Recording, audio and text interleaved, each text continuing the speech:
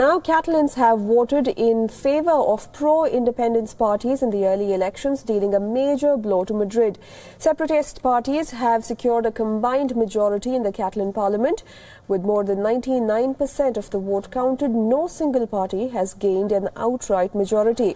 But the three separatist parties together took 70 seats. They needed 68 to keep their grip on the 135-seat parliament.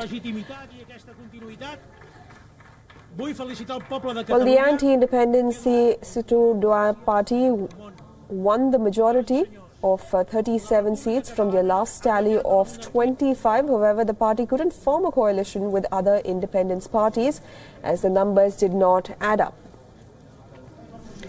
Catalan leader Carles Puigdemont has claimed the victory for separatist bloc in the regional elections and has called the results as a victory of the Catalan independence bid over the Spanish state.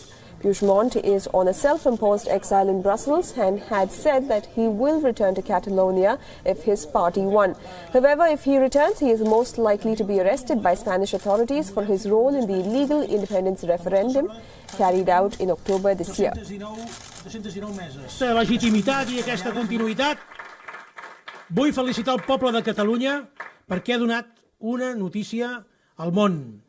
Senyores i senyors, la República Catalana ha guanyat a la monarquia del 155.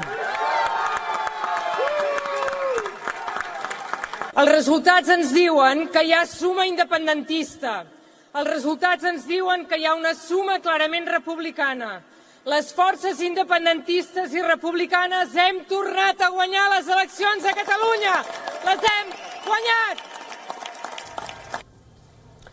Well, the result is a major blow to the Mariano Rajoy government, which had called for early elections in the hope of dealing with a more moderate Catalan administration.